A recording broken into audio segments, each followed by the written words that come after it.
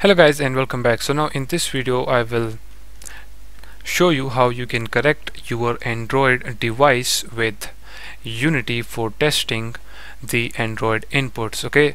So the first thing is by simply selecting the simulator but if you don't want to test your game in the simulator and wants to connect an Android phone then in the previous video I have told you as well click on this file then build settings make sure that you have changed the platform to Android okay and then click on player settings.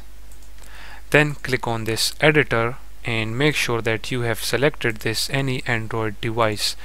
And when you do that then simply connect your Android phone with the computer okay and if it asks for any permission then just simply allow the permission and when you do that then simply click on refresh right here and then you will find your Android device right here. So just simply select that device.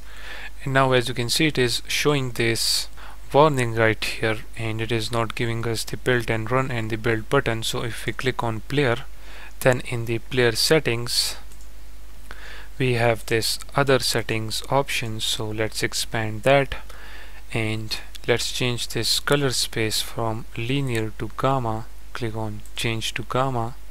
And the reason now we need to change this from linear to gamma is because in our cutscenes we have used the linear furnitures okay? So now we need to change that to gamma in order to build and run the game and to avoid this warning okay? So now just change it to gamma and wait for this to finish so as you can see it has been changed to gamma. Now let's simply close this.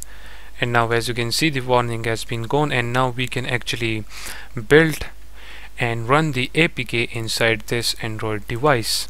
So you can just actually go ahead and click on this. And then it will take some minutes. And make sure that your phone is connected.